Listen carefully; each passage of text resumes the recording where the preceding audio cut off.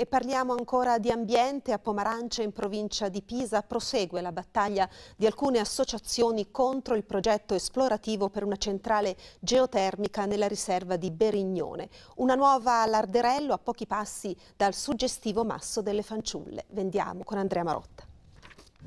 Oltre 5.000 firme tra carta e portale web change.org, la petizione lanciata da WWF Siena, Italia Nostra e altre associazioni ambientaliste ha raggiunto l'obiettivo. Il documento è stato consegnato nelle mani del presidente della regione Enrico Rossi. La campagna del Comitato Difensori della Toscana punta ora alla difesa di uno dei simboli della bellezza naturalistica in regione, il Masso delle Fanciulle, nella riserva naturale del Berignone lungo il corso del Cecina, un luogo suggestivo e meta turistica molto frequentata anche durante quest'estate.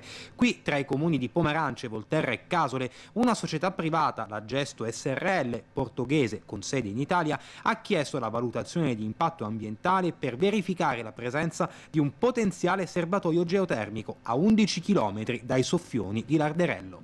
Centrali geotermiche possono essere di diverso tipo, è vero, alta entalpia, media entalpia, bassa, per l'amor del cielo però sempre hanno un impatto ambientale veramente imponente e, e, e importante è, e sarebbe un autogol formidabile per l'Italia tutta. Alla richiesta della società di realizzare due pozzi esplorativi in questi luoghi, la Regione ha risposto con una richiesta di ulteriore materiale entro fine settembre. Quindi l'ipotesi di una centrale geotermica passerà entro fine anno in giunta regionale. Per l'azienda che ha proposto l'operazione il costo stimato è di oltre 6 milioni di euro, un investimento troppo oneroso per non poggiare sulla certezza di una buona riuscita.